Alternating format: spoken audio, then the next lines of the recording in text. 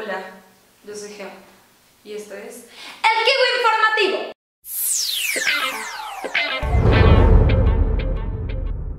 ¿Se imaginan a sus padres diciendo, hijos, cuando muera quiero que me entierren con mi iPad? Les sonará una petición absurda, pero al menos que dejen a sus seres queridos una lista con usuarios y contraseñas de todos sus dispositivos, no tendrán nada que heredarles más que un muy caro ladrillo.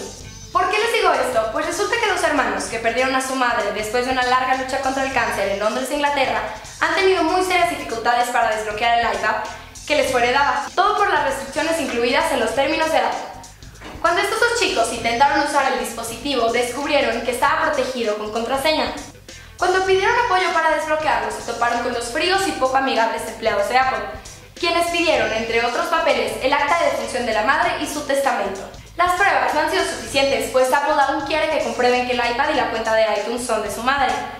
Para poder hacer el trámite tendrán que pagarle a un abogado que cobra 200 libras la hora, lo que a la larga costará más que el iPad en juego.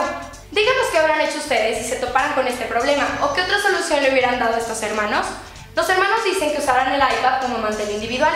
¿Qué uso le darían ustedes? Para más videos suscríbanse dando clic en el botón de aquí abajo y denle gordito arriba para ayudar al show. Para más noticias No olviden seguirnos en nuestras redes sociales, facebook.com, diagonal el kiwi mx y en Twitter arroba el kiwi mx.